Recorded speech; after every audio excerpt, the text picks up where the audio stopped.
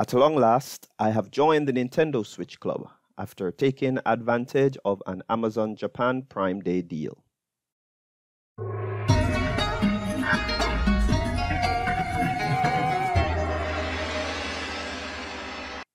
My PS4 now has company. Arguably, the hottest console out now is the Nintendo Switch, and I finally decided to make the jump and buy one.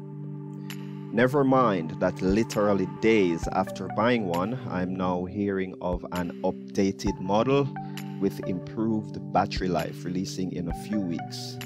But alas, that is just my luck. The deal I got included the Nintendo Switch, a carrying case with screen protector and cleaning cloth, a 128 gigabit micro SD card, and a 3000 yen coupon for the Nintendo eShop, all for 37,000 yen or about 340 US dollars, I think.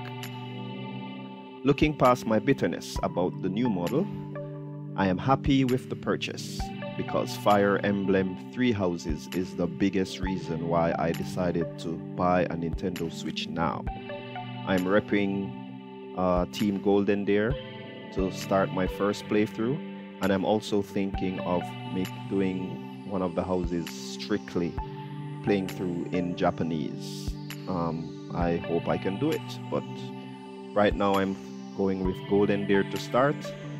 Maybe uh, mm, Black Eagles as my second playthrough, and maybe stream the Blue Lions um, playthrough a couple of nights a week all in Japanese. However, I need to get used to the system. Uh, slowly expand my game catalog with big hits like Smash Bros. Ultimate, Breath of the Wild, and others are all on my radar. So, if you already own a Switch, tell me what is your favorite or most recommended game in a comment below.